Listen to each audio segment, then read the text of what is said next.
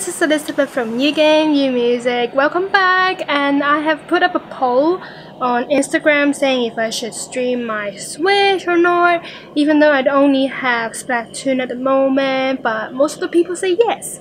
So here I'm trying to get through my computer and I bought this little toy, expensive toy. So this is going to be a very quick unbox video and see if it works.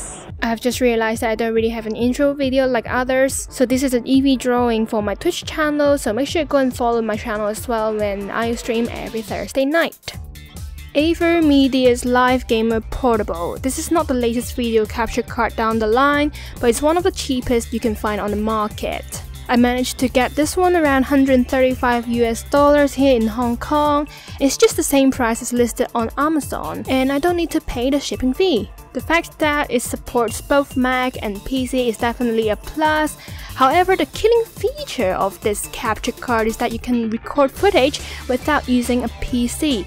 Instead, you use an SD card to record on the go, so it is not device bounded. But for the fact that I'm only buying this to stream my Nintendo Switch, for time being it's unlikely that I will need this feature at the moment. I'm more into the fact that this whole thing powers itself off by using one USB cable only, easy come and easy goes. The maximum resolution is 1080p with 30 frames per second. It is still acceptable for me as long as it supports 1080p.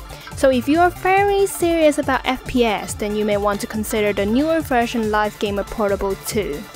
Back to opening the box. Immediately you will see the device coated in black and red. Take away the device plastic tray, you will see a big black box, user menu, explicit voucher, and instruction with the link where to download the software. Within the big black box, there is a pouch for the device and a lots of cables that are ready for most types of video and audio input.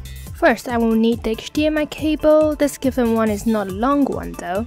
Let's pass the old video inputs and the 3.5 audio cables.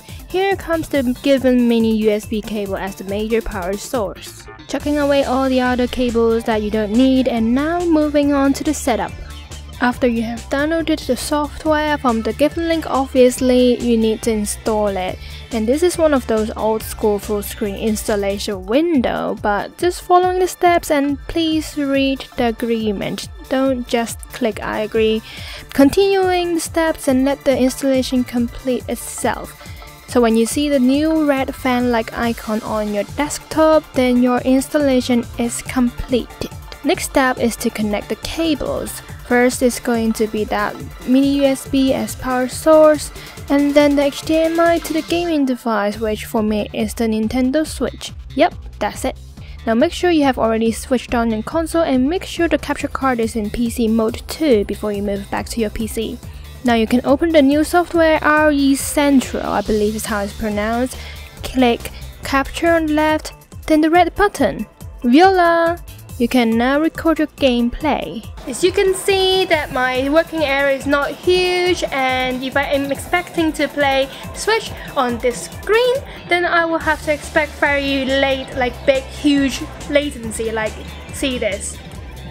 See can you see the, how late it responses which is okay if I have a second monitor then I can stream on Twitch and um, but it's just not happening for time being until I get a second monitor for a direct video output. So unfortunately, streaming my Switch on Twitch will take a bit more time than expected, but thanks for tuning in, and this is You Game You Music. If you got anything else that want me to review or anything else want me to try on, then definitely let me know, and I will try my best to get them. Also, make sure you subscribe and like this video if you haven't, and share this video if you want to, and I will see you on Twitch or next time. Bye bye!